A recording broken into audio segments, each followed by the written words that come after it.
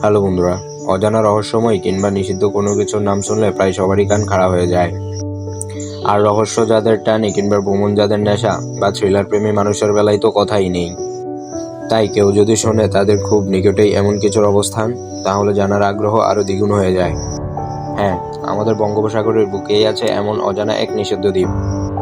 যার নাম সেন্টিনেল অ্যানিপ আজকের ভিডিওতে আমরা রহস্যময় এই সেন্টিনেল দ্বীপ সম্পর্কে জানব। আন্দামান ও নিকোবর দ্বীপপুঞ্জের উত্তরে অবস্থিত এই দ্বীপের নাম সেন্টিনেল। বিষয়টা অদ্ভুত না? আধুনিক এই প্রযুক্তির যুগে সাগরের তলদেশ থেকে মহাকাশ পর্যন্ত সব জায়গায় বিজ্ঞানের ছোঁয়া।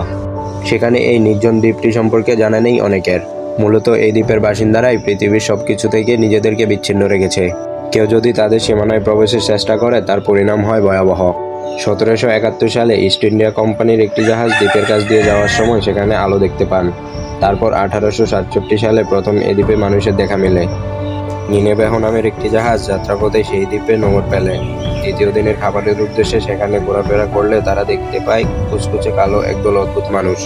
হাতে তীর ও বর্ষা নিয়ে ছুটে আসছে তাদের দিকে। জাহাজের ক্যাপ্টেন কোনোভাবে সেখান থেকে জাহাজ নিয়ে পালিয়ে আসে।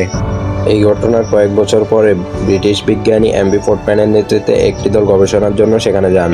তাদের সাথে মেশার চেষ্টা করেন এবং তারা সফলও হয়।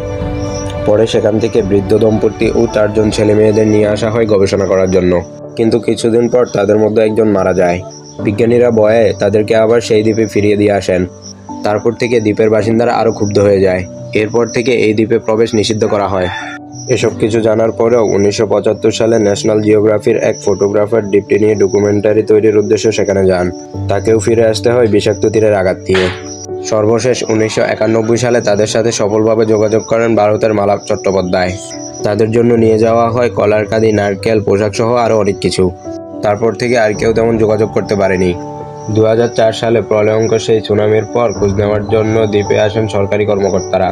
কিন্তু তাদের হেলিকপ্টার দিকেও ছোড়া হয় তীর ও বল্লম, যার ফলে তারা ফিরে আসেন। দু হাজার ছয় সালে ভুলবশত দুজন জেলে ওই দ্বীপে প্রবেশ করেন। তাদেরকে নির্দয়ভাবে মেরে ফেলা হয়। তারপর থেকে ভারত সরকার ওই দ্বীপটি নিয়ে গবেষণা ও দ্বীপটির মধ্যে প্রবেশ সম্পূর্ণরূপে নিষেধ করে দেয়। দ্বীপটি হয়ে যায় নিষিদ্ধ একটি দ্বীপ। বন্ধুরা সেন্টিনেলিদের সম্পর্কে আরও তথ্য জানার জন্য আমাদের চ্যানেলটি সাবস্ক্রাইব করে বেল আইকনটি অন করে রাখুন। আজকের ভিডিওটি কেমন লেগেছে তা কমেন্ট করে অবশ্যই জানাবেন। ভিডিওটি ভালো লাগলে ভিডিওতে একটি লাইক দিন। আপনাদের দেওয়া একটি লাইক আমাদের ভিডিও বানাতে উৎসাহিত করে। আজকের মতো এতটুকুই। ভালো থাকুন সুস্থ থাকুন ভালো রাখুন আপনার চারপাশ। আল্লাহ হাফেজ।